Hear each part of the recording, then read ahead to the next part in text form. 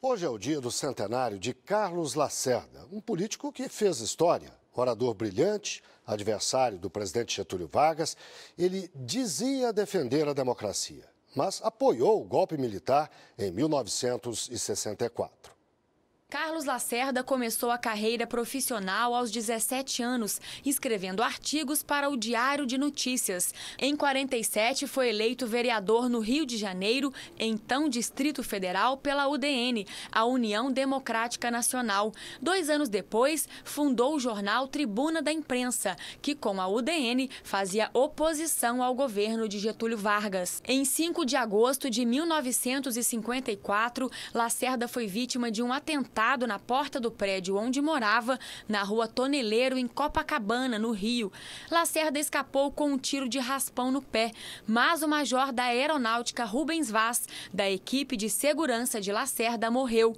O chefe da guarda de Getúlio, Gregório Fortunato, foi apontado como mandante do crime, o que levou uma crise para o governo Vargas e terminou com o suicídio do presidente. Se ele renunciasse, ele sairia muito, muito por baixo.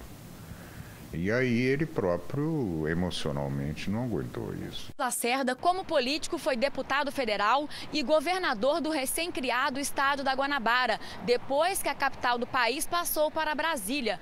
Construiu a estação de tratamento de água do Guandu, a maior do país até hoje, e também túneis importantes, como Santa Bárbara e o Rebouças. Lacerda removeu moradores para acabar com favelas da zona sul do Rio, política considerada agressiva pelo pelos setores de esquerda.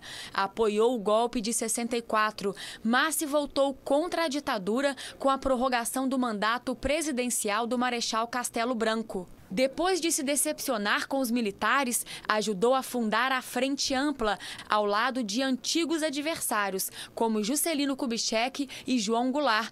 Carlos Lacerda morreu no Rio em 1977, depois de sofrer um infarto. Na verdade, Lacerda se decepcionou com os militares quando percebeu que não poderia ser candidato a presidente da República, como ele queria ser.